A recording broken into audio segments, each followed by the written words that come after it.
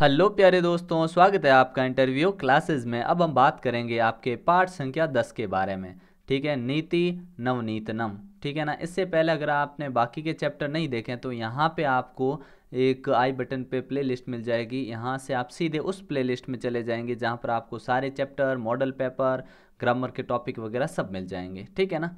चलिए देखते हैं प्रश्न उत्तर इस पार्ट के जो भी इम्पोर्टेंट प्रश्न है ना, उनके बारे में।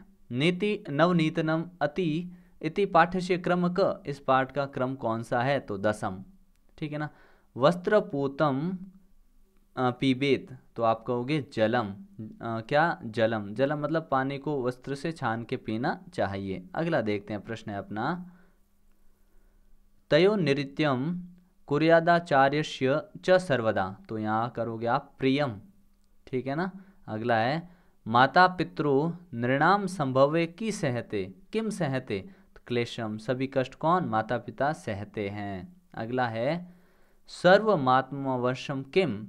जो सर्वमात मतलब अपने वश में सब होता है तो क्या होता है? वो सुखम। ठीक है ना?